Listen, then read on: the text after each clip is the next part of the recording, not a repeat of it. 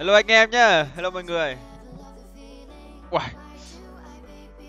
Kéo gì cả. Ý, mẹ tưởng hôm mấy tập về cảm giác người nó to hơn nhưng mà mới có một hôm nên cũng chả có gì cả. hello anh em. Hello mọi người. Thì hình như là hôm nay là biết điểm thi đại học đúng không? Anh em thi à tốt nghiệp chứ? Ừ. Thế các bạn nào đã biết điểm thi tốt nghiệp nhỉ? Vui buồn thì cũng chia sẻ với anh em chứ nhỉ? Uầy, hình như năm nay mình không biết đúng không mà năm nay có vẻ là các bạn thi các bạn điểm cao nhở toàn hai mấy điểm mới hay là thi tốt nghiệp nó thế? Các bạn khoe toàn hai mấy điểm ạ? Trong khi hồi xưa mình thi được mấy mấy mấy mấy, gần hai mươi điểm mà mình đã thấy gọi là ừ cũng gọi là tương đối cao đấy. Không gọi là cao quá nhưng mà gọi là đủ để đỗ đại học. Thì à, nói chung là mình ngồi mình nói, chia sẻ các bạn về cái việc đi thi đại học xong rồi. Trước mình cũng từng nói về việc đi thi đại học như nào rồi, chia sẻ kinh nghiệm bạn thi văn như nào cho điểm cao bây giờ mình sẽ ngồi uh, uh, nói chuyện với các bạn qua về việc gọi là học đại học như nào cho đúng.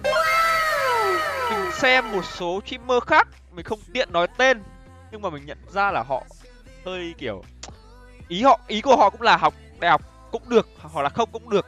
Nhưng mà không nên đại học ý của họ là không nên học đại học học đi học ở ngoài học ở đời nó sẽ tốt hơn rất là nhiều. Nhưng mà đối với một người đã từng học đại học như mình thì mình lại có quan điểm khác ví dụ như team mình đi thì team mình mình nói đây không biết có đúng không? Nghĩa là trong số tất cả những người hiện nay ở team mình là team refund chỉ có mình mình là người đã từng học đại học học xong đại học và có bằng uh, có bằng lồn gì nhỉ? Bằng gì mà của công nghệ thông tin ý cử nhân gì gì chẳng biết. Đấy đại loại như vậy. Thì mình có gì cả kiện quang trình à? Anh quang có thấy à? Ít cò mẹ đấy thấy không? Cái mà thì mình có ờ, đưa ra một cái vài quan điểm và cái suy nghĩ của mình về việc học đại học. Ờ đúng.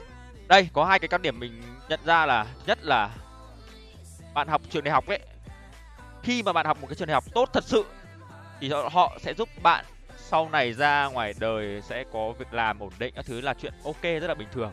Nhưng khi mà ví dụ như mình hồi xưa mình đi thi mình được có mỗi 17,5 điểm và hầu như là và mình trượt cái trường mình mong muốn và mình học một cái trường nói nó hơi hơi buồn đó là trường thấp nhất so với mặt bằng chung của đại học chính quy ở Hà Nội.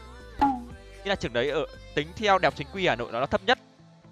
Hồi đấy cái trường của mình thi mà mình trượt đấy mình vào đấy là có lấy điểm sàn là có 12 14 14 điểm hay sao ấy mình không nhớ lắm. Và như kiểu mình bị vớt vào đấy ấy. Ok, không sao, file uh, ờ, thì khi mà các bạn học những cái trường đấy thực sự mình nói thật thì các bạn sẽ chả học được cái gì nhiều ở trên lớp đâu. Đây phải nói thẳng là như vậy. Hầu hết là các bạn học những trường đấy bạn sẽ được cái gì? Nó là được cái rất là vui vui vãi lồn mình nói thật vui vãi lồn học như đấy chả học hành luôn thì cả cái đi chơi đâu. Thứ hai là bạn bè các bạn nhiều lắm nhiều tầng lớp lắm như kiểu mấy cái trường kiểu cấp trên, tuyến trên, mình cảm giác là họ sẽ kiểu hơi kiểu bị đắm chìm vào việc học hơn là là việc chơi trời, trường mấy trường này vui lắm, thật. Và cái vui đấy nó cũng đem lại cho các bạn cái đó là bạn sống đúng nghĩa với tuổi trẻ của bạn bạn được chơi chơi ra chơi, đúng, chơi là chơi. Và bạn quen được rất là nhiều người từ núi cho đến người đồng bằng, quê nghèo người giàu có bạn quen hết. Con nghiện con nghiện game nghiện đồ. Đây là những người kiểu chân chất gặp hết à? Ờ. À, mình nhận ra là ờ cái đấy rất là tốt cho các bạn sau này. Khi bạn có một rất là nhiều mối quan hệ ấy, thì sau này khi mà bạn đi ra ngoài đời bạn làm việc hay là bạn cần giúp đỡ hay là bạn tìm công việc gì làm thì bạn có rất là nhiều mối quan hệ rất là nhiều bạn bè có thể giúp đỡ bạn. Và là bạn trong công việc hiện tại của bạn đang làm. Nhưng mà học đại học thì cũng phải nói đi và nói lại là của bạn thật sự bạn có học hay không ấy. Hầu như là trên lớp trên lớp trên trường bạn sẽ học để học một cái gì cả. Cam đoan với các bạn thế. Bạn đi học chủ yếu là bạn đi chơi là chính. Học thì cũng có phần nào chứ chả học được cái gì. Nhưng mà cái mà các bạn uh, nếu bạn muốn ấy, bạn đi học đại học mà bạn để ra trường ấy, bạn học cái gì mà bạn làm cái đấy đấy là do bạn có học hay không. Ví dụ như hồi xưa mình đi học đấy, có thể là mình sẽ học, ví dụ như mình mình có thể là sau này mình sẽ làm cái liên quan đến công nghệ thông tin, là mình đã từng, gọi là, mình bỏ rất là nhiều thời gian ra đi học thêm ở ngoài, học liên quan đến mạng. Và mình nghĩ là sau này mình sẽ ngồi trong cái phòng server nào đó, mình sẽ quản lý một chuỗi các server à, chuỗi uh, ờ, từ trên xuống dưới của một công ty nào đó. Và mình biết chắc là cái việc đấy rất là nhàm chán nhưng mà mình ờ uh, thôi mình đã học công nghệ thông tin rồi thì mình cố theo nó đi.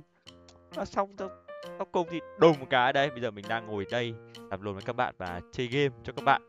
Và mình cũng biết tương lai của mình sẽ như nào.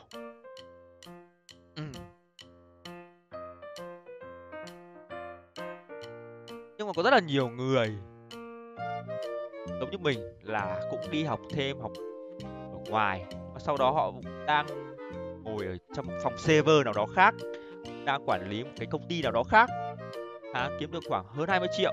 Mình phải nói thật các bạn là công nghệ thông tin lương rất là cao. Mình nói thật lương trung bình ấy nếu mà bạn ra trường kiểu botbet cũng phải được năm sáu triệu. Nếu mà ai kiểu đi làm khoảng được nửa năm một năm có kinh nghiệm rồi cũng phải trên 10 triệu. Còn những người tầm khoảng ba bốn năm kinh nghiệm thì là chắc chắn là trên 20 triệu. Đấy là chuyện bình thường. Đặc biệt là những người dân kiểu dân uh, coder thứ Ủa, nhiều tiền lắm. Đấy nói chung là bây giờ mà các bạn ấy đến điểm thi rồi mà sắp tới các bạn chọn trường ấy hoặc là bạn chuẩn bị vào học cái trường nào đó ấy nếu mà bạn các bạn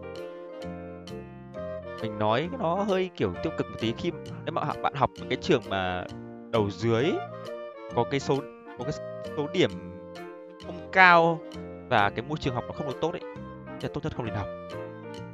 Bạn chỉ đến các bạn gọi là giao lưu rồi giao du với những người các bạn nghĩ là nên giao du là tốt là chơi được uh, cho sau này cho về sau. Còn các bạn nào mà vẫn kiểu đang học trường mà rất là tốt các thứ thì nên học. Sau này sẽ giúp bạn ra trường có một công việc ổn định. Các bạn mà học được kiểu như mình ý. Là cần phải học đâu học kiểu học cho có thôi. Rồi sau này à, rồi sau này kiếm công việc gì khác. Hay là kiểu cố gắng đang lúc học thì đi làm gì đó đi tích lũy kinh nghiệm. Đâu sau này bạn lên như kiểu hồi xưa bọn mình bọn bạn mình nó đi làm kiểu mấy cái chân kiểu uh, bê đồ hay là làm kỹ thuật viên cho mấy công ty sửa điện thoại thứ như kiểu Nhật Cường hay là Tích One cái thứ đấy. Bây giờ là cũng kiếm được tháng cũng chục triệu, hai chục triệu. Học mấy cái kiểu học xong đi làm năm sáu triệu, xong rồi đéo biết tương lai mình đi đâu cả đẹp gì các bạn ạ.